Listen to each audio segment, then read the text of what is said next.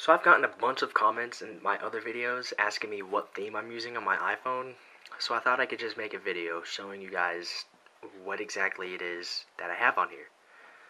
So I'm going to start with the lock screen. Um, the widgets, these are called QuickWidgets. I made another video on this. You could go watch that to check it out. It's free. You can get it in Cydia.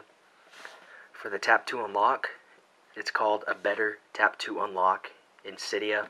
You can download that and activate it with Winterboard and you'll see this. You can just tap it to unlock. So that's the lock screen. Now a quick note about Winterboard. I don't even have it installed, so none of this stuff here is using Winterboard. Um, for the dock, I took the dock and these five icons from the Glass Orb theme. Um, I might make another video on how to put Winterboard docks, icons, and sounds, things like that without using Winterboard because it definitely helps in overall performance when you're not using Winterboard. So that's the dock.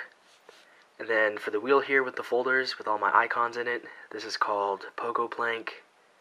I made it. I also made another video on this. You could go watch that to see more on this. It's $1.99 in Cydia. It's really cool. Makes all of your apps load faster compared to using your normal icon and paged springboard. For the carrier logo, it's called AT&T carrier logo. You could get it in Cydia from the Big Boss repo. Just type in AT and T, and then that should be it.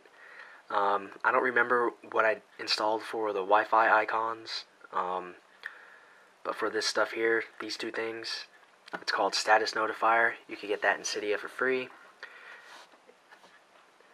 There's it also does other ones besides new email and your silent switch. It can do missed calls, new instant messages, new RSS things, um, unread text messages, things like that. And then I'm on a 3G, and then th your battery percentage isn't anything you get out of the box, so I had to do some file editing in a plist file, and I'll probably show you how to do that in another video as well.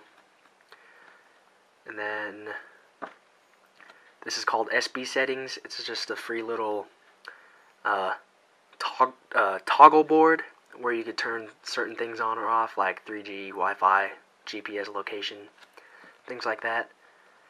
You also get some nifty power options and some other things. And then this is called qTweeter.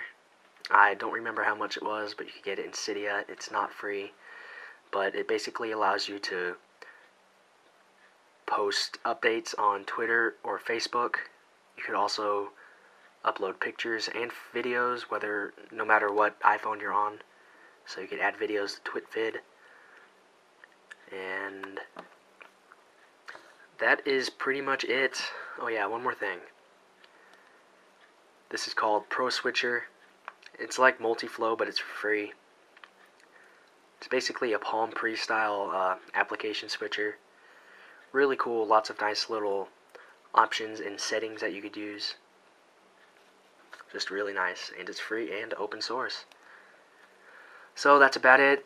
That's just a quick tour of all the customizations on my iPhone, and if you have any questions, post a comment, and we'll be seeing you soon.